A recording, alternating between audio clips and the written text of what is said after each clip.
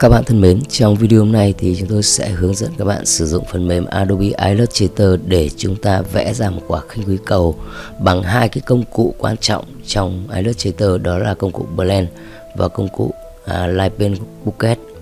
Đầu tiên thì chúng ta sẽ tạo ra ở đây một cái file mới. Tôi chọn khối giấy A4 mặc định và đơn vị đo của nó là mm. Chúng ta nhấn Create click đúp vào cái à, công cụ bàn tay này để chúng ta sẽ cho ra cái hình này ra giữa. Tiếp đó thì chúng ta chọn menu view và chọn sâu grid lên để chúng ta có các cái đường lưới này vẽ cho nó chính xác. Tiếp đó thì các bạn chọn công cụ pen để chúng ta vẽ cái hình này.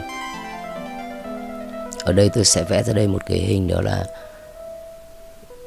chúng ta vẽ một cái điểm chấm đầu tiên chính xác vào cái ô này tiếp đó là chúng ta sẽ kích chọn tiếp vào đây và vẽ ra đây một cái đường cong. Giữ nguyên và chúng ta sẽ tiếp lấy cái đường cong thứ hai đó, kích vào cái nút này và thẳng hàng với cái nút đầu tiên của nó ở cái điểm này. Sau khi xong các bạn có thể nhấn nút ESC để thoát ra khỏi chế độ của công cụ pen. À, tôi sẽ loại bỏ đường viền của cái hình này đi. Chúng ta chọn lại công cụ selection để chọn toàn bộ cái uh, hình mà chúng ta vừa vẽ.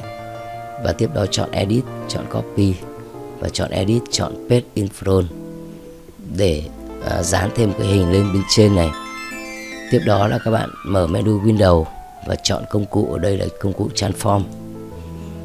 Trong cái công cụ transform này thì các bạn chú ý ở đây là uh, ở đây thì chúng ta sẽ lấy cái điểm point của nó ấy, là cái điểm ở phía bên tay trái này nhé. đây các bạn chú ý kỹ ở đây và tiếp đó kích vào đây và chọn flip horizontal. Thì chúng ta sẽ vẽ ra đây được một cái hình ờ, à, chúng ta sẽ xoay cái hình ờ, vừa pết vào đây sang thành để trở thành một cái hình hòa điệu cầu như này. Sau khi xong rồi thì chúng ta sẽ bao chọn hai hình này. Tiếp đó các bạn chọn công cụ uh, blend. Kích đúp vào đây để chúng ta lên cái bảng uh, blend option. Dạ, và ở đây chúng ta sẽ chọn chế độ thứ hai là chế độ step này. Kích vào đây. Đấy, và ở đây tôi sẽ giữ mặc định của nó là nó sẽ vẽ ra 8 cái đường phía bên trong của nó. Ok.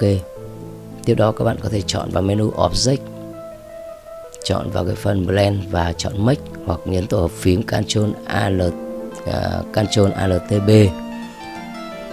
Đấy, như vậy là chúng ta vẽ xong cái phần này chúng ta sẽ bao chọn cái hình này và tiếp đó chọn offset và chọn expand nó ra luôn ở đây cũng được. Yeah. Dạ.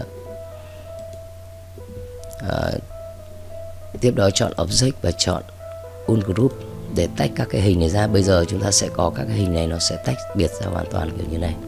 Nhấn Ctrl Z để quay trở lại. Bước cuối cùng thì chúng ta sẽ chọn cái công cụ Live Lightpen Bucket. Ở đây thì uh, chúng ta sẽ chọn công cụ Live Pen Bucket ở đây. Kích vào đây này chọn Live Pen Bucket hoặc là phím tắt là phím K. Chúng ta kích à, vào hình để à, bắt đầu chế độ Live Pen Bucket và bây giờ chúng ta sẽ chọn các cái màu sắc để chúng ta đổ màu vào từng cái phần này. Cái công cụ này tôi đã hướng dẫn các bạn sử dụng trong một cái video gần đây nhất rồi.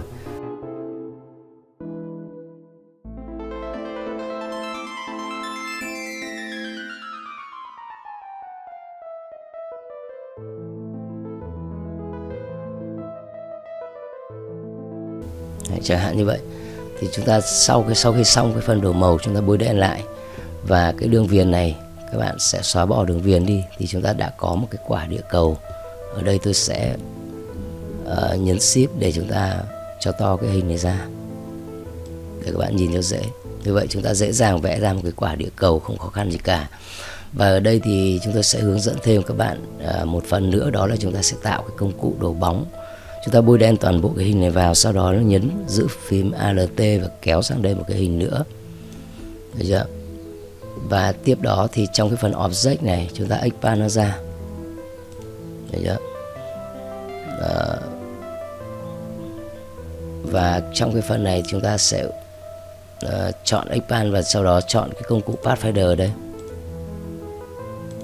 Được chưa? Chọn Pathfinder và chúng ta sẽ chọn vào Unite, Unite tức là chúng ta sẽ nhóm cái này thành một cái hình. Và tiếp đó các bạn có thể vào menu Window và chọn vào cái phần đó là uh, gradient để chúng ta tô màu cho nó. Tô màu gradient cho nó. Click vào đây. À, xin lỗi cái phần đường viền chúng ta bỏ. Click vào đây. Ở đây tôi sẽ chọn chế độ màu radial và chúng ta chọn công cụ đổ màu đây để chúng ta kéo cái đường viền sáng của nó từ trên xuống dưới kiểu như này được chưa? Đấy. Tức là ánh sáng nó sẽ chiếu từ trên xuống. Tiếp đó chúng ta chọn cả hai nhấn giữ phím shift và chọn cả hai hình này luôn. Và chúng ta chọn vào đây là cái, dùng cái công cụ uh, align ngay bên trên này để chúng ta sẽ nhóm là à, chúng ta sẽ đưa cái hình này trùng khít lên bên trên này. Tiếp đó là các bạn chọn vào cái công cụ là transparency. Để chúng ta chọn ở đây cái chế độ ở đây là multiply thì các bạn thấy là cái vừa trong cái chế độ hòa trộn màu multiply thì chúng ta đã thấy cái đổ bóng từ bên trên này xuống. Ở đây các bạn có thể giảm cái độ opacity của nó xuống để cho nó hợp lý. Đó. À, xin lỗi cái phần này. À, đây tôi vẫn chọn cả hai hình thì ờ, chúng ta có thể nhấn Ctrl Z để quay trở lại. Đấy để để chúng ta chỉ chọn cái ờ, hình bên trên thôi. Vừa nãy tôi chọn cả hai hình cho nên là nó sẽ hòa trộn cả hai cái vào một thì không đúng, đúng không? chúng ta chọn multiply đây. Và ở đây chúng ta sẽ chọn cái ờ, độ opacity của nó giảm đi. Các bạn uh, chọn này làm sao? Khi nào nó hợp lý rồi thì chúng ta sẽ dừng lại đây. Thì các bạn thấy là cái ánh sáng từ trên này đổ xuống. Và công việc cuối cùng của chúng ta là chọn cả hai hình này và sau đó nháy phải chuột chọn group. Group hai hình lại với nhau và chúng ta có thể di chuyển các cái hình này để cho nó một trở thành một cái hình hoàn chỉnh.